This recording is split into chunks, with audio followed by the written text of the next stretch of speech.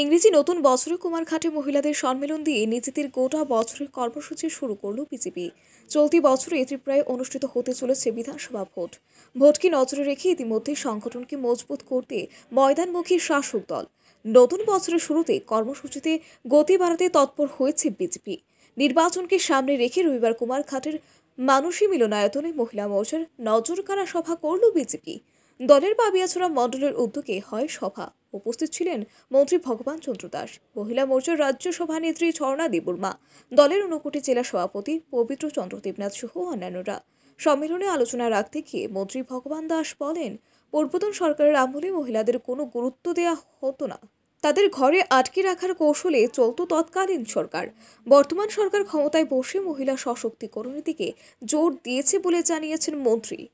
যে মহিলাদেরকে স্বনির্ভর করার জন্য আজকে এই ধরনের সরকারি সহায়তার মাধ্যমে মহিলা সশক্তিকরণের কাজ চলছে। মহিলাদেরকে সম্মান দেওয়া হচ্ছে। বেটি বাঁচাও, বেটি পড়াও, আমি বলেছি, সেই জায়গাতে বেটিরা সম্মান পাচ্ছে। আজকে মহিলাদেরকে সম্মান দেওয়া হয়েছে।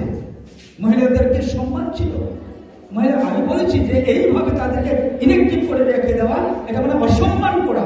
আজকে মহিলাদেরকে সমাজের একটা মুখ্য ভূমিকায় নিয়ে আসা হচ্ছে মহিলাদেরকে আজকে রাষ্ট্রপতি বানিয়ে দেওয়া হচ্ছে মহিলাদেরকে আজকে লোকসভার স্পিকার বানিয়ে দেওয়া হচ্ছে মহিলাদেরকে বিদেশমন্ত্রী বানিয়ে দেওয়া বিদেশমন্ত্রী বানানো হচ্ছে মহিলাদেরকে আজকে অর্থমন্ত্রী বানানো হচ্ছে মহিলাদেরকে সম্মান দেওয়া হচ্ছে নতুন বছরের শুরুতেই প্রচার এবং প্রসারে গতি বাড়াতে তৎপর হয়েছে বিজেপি।